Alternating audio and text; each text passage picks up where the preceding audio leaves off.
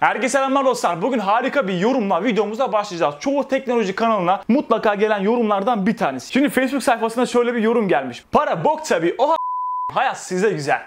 Aslında bunu birçok yayında söyledim ve birçok videoda dile getirdim. Buradaki ürünlerin hepsi firmalardan geliyor. İncelemiyorum. Yani ben bunların hepsini alıyorum, ediyorum. Şu bu olayı yok. Ve bir diğer yorumsa mesela ben Asus'un ürünü, MSI'nin ürünü, AMD'nin, Nvidia'nın veya da farklı farklı markaların ürünü incelediğim zaman gelen klasik yorumlardan bir tanesi.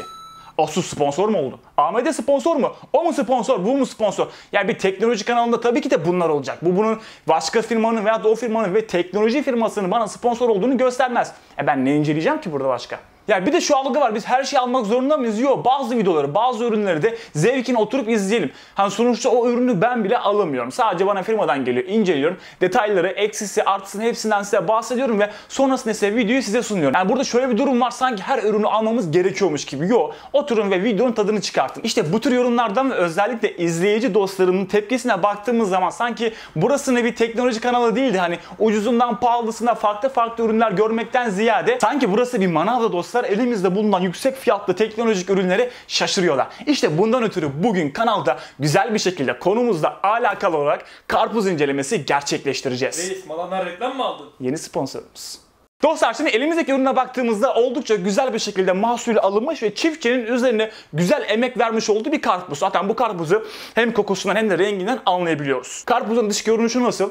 Gayet güzel. Güzel, parlak buraları. Lakin arka tarafa geldiğimizde ise burada bir ezme ve bükme bulunuyor. Muhtemelen de kargo aşamasında hasar almış olabilir dostlar. Ama ürüne şöyle güzelce baktığımızda malzeme kalitesinin oldukça iyi olduğunu buradan anlayabiliyoruz. Yani mal, malı mal. Mal, mal güzel.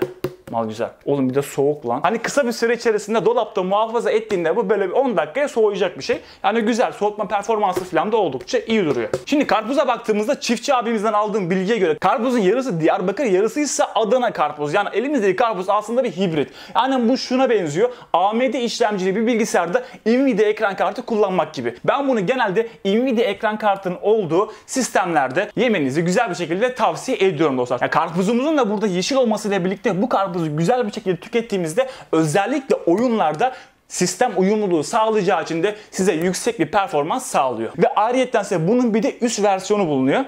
Onu da göstereceğim.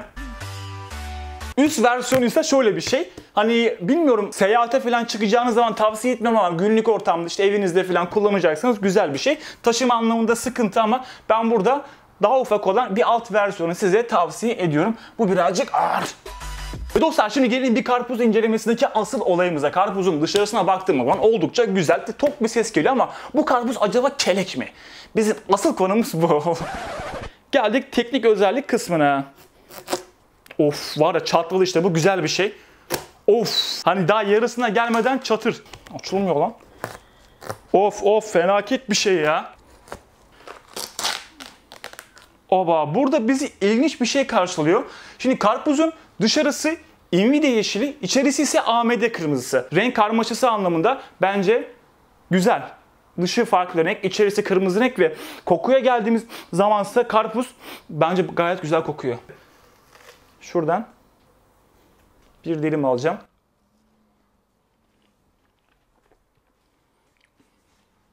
Eh, biraz tatsız. Sen de bir bak reis. Aç ağzını. Bıçağı ısırma. Senden de bir yorum alalım. Eh.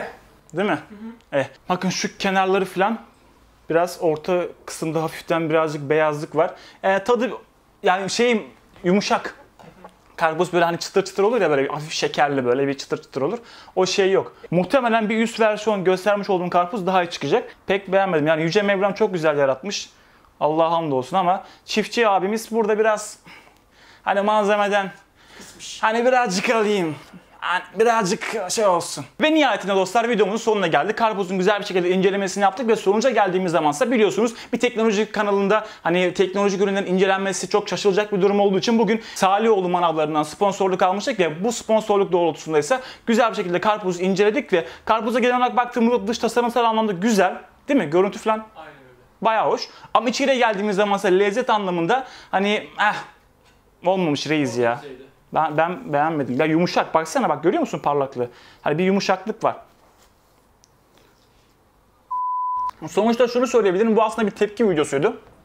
Hani böyle yorumlar yazın ama bu yorumlar artık çok tuhaf yerlere gidiyor. Yani nasıl bir yerlere gidiyor? Adam artık acayip şaşırıyor. Bunu niye inceledin ve ben bunu alamam. Niye bunu inceliyorsun diye yorumlar geliyor. Ya buradaki olay aslında bunu almak veya almamak değil. Hani bunu 1, 2, 3 kişi alabiliyorsa bile oturup alamıyorsa keyfini çıkartalım ve izleyelim. Keyfini çıkartalım videonun. Bu kadardı. Kendinize çok iyi bakın.